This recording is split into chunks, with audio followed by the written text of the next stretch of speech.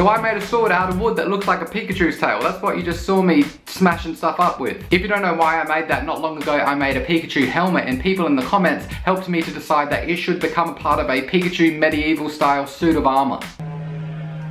Now here's the thing, on this channel, I don't like to build things that are too complicated. I hate it when you're on a cosplaying YouTube channel and they say something's homemade, but what they fail to tell you is at their home, they have an industrial table saw and lots of other tools. It's like, oh God, I'm not rich. Anyway, to make the shape of this actual sword, all you need is a plank of wood. I got a nice soft piece of pine, a coping saw, which is a special like hand saw that you can use to get around tight corners. If you don't have one, don't worry. Neither did I. I bought that for like 10 bucks. Also some sandpaper. That costs like $2 for that whole thing. First thing you want to do is grab a pencil and draw the shape of your sword onto the wood. I drew some rough sketches, but it still took me a while to kind of use a ruler and figure it out exactly how it was gonna work in real life. And then you just gotta cut that sucker out. Now I'm not gonna bore you with the entirety of the footage of me cutting it out, because that would be boring as hell. Basically, just use the coping saw to do it bit by bit. Now the coping saw is good for this because you can adjust the direction of the blade, which allows you to get into very tight corners, and this sword has a lot of those. After you've cut it out, it's time for sanding, my favorite.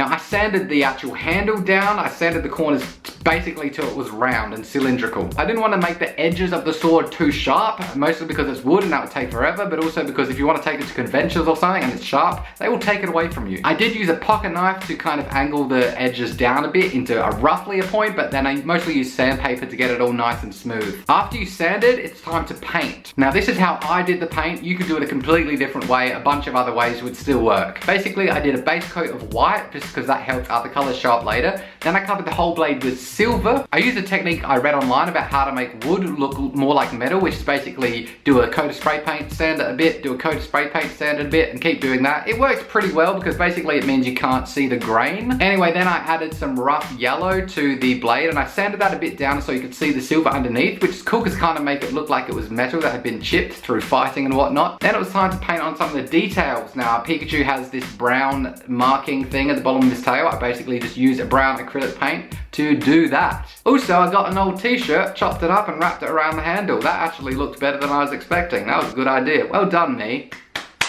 I'm the best. Right at the end, I got some black acrylic paint and watered it down and kind of put it all over the sword and just used some material to rub it in just to make that yellow look not so bright. It was a little bit too bright and I want it to look old and weathered like I said and the black just kind of sinks into all the nooks and crannies and it looked a lot better. And then, sword complete. Oh, ho, ho, ho, Jump in the comments, tell me, what do you think of the sword? Also, the next thing I think I'm gonna build is the shield. What do you think that should look like? I've got an idea in my head, but you might have one better. Probably not, because I'm awesome, but maybe. Also, before I go, I wanna talk about a website called Xcoser. It's a really good cosplay website. They sell cosplay accessories. Basically, they contacted me and said, we'll send you a free mask if you say that our website is good on your channel. Now, my channel isn't that big, but surprisingly, I get a lot of emails like this. Usually I say no. This website is actually good though. And they sent me this freaking Daredevil mask. Yes. My name's Matt Murdock and I'm blind. They're very good. There's links to their channel in the description below and a link to their Facebook as well. Anyway, I'm gonna go. I'll leave you with links to some other videos I've done like the Pikachu mask and whatnot. Also click like because I will do to you what I did to that cardboard version of James from Team Rocket.